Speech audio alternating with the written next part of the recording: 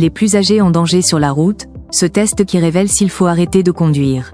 La sécurité routière est une préoccupation majeure pour tous les usagers de la route, mais elle l'est encore plus pour les seniors. Une récente étude a mis en lumière un signe alarmant qui devrait inciter les personnes âgées à arrêter de conduire immédiatement. Cette découverte pourrait non seulement contribuer à réduire le nombre d'accidents de la route impliquant des seniors, mais aussi aider ces derniers à prendre une décision éclairée concernant leur aptitude à conduire. Dans cette vidéo, nous allons explorer cette étude et discuter de ses implications pour la sécurité routière des seniors. Restez avec nous pour découvrir ce signe alarmant. Les troubles visuels, un signe alarmant pour les seniors conducteurs. Selon une étude de l'Université de Washington à Saint-Louis, les troubles visuels émergent comme le premier indicateur à surveiller chez les seniors, signalant la nécessité de cesser la conduite.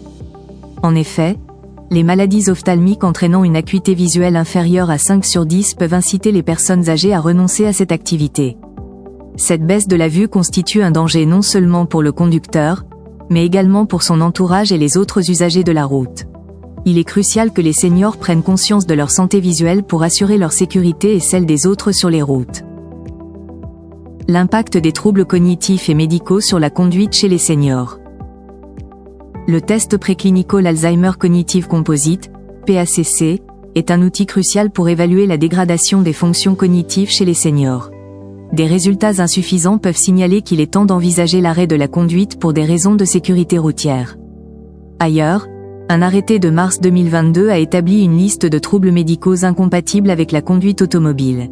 Cette liste inclut des maladies telles que certaines affections métaboliques, neurologiques et cardiovasculaires, ainsi que des conditions comme l'épilepsie, la sclérose en plaques, la maladie de Parkinson, et la dépendance à la drogue ou à l'alcool, mettant en lumière l'importance d'une évaluation médicale régulière.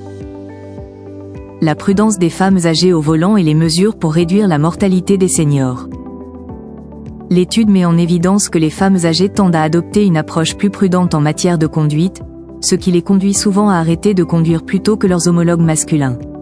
Cette décision est souvent influencée par une détérioration des fonctions cognitives, se manifestant par des oublis de lieux familiers ou une confusion durant la conduite, des signes cruciaux indiquant qu'il est temps d'abandonner le volant. Pour contrer le taux élevé de mortalité parmi les seniors sur la route, plusieurs pays européens ont mis en place des réglementations interdisant la location de véhicules aux conducteurs âgés de plus de 70 ans.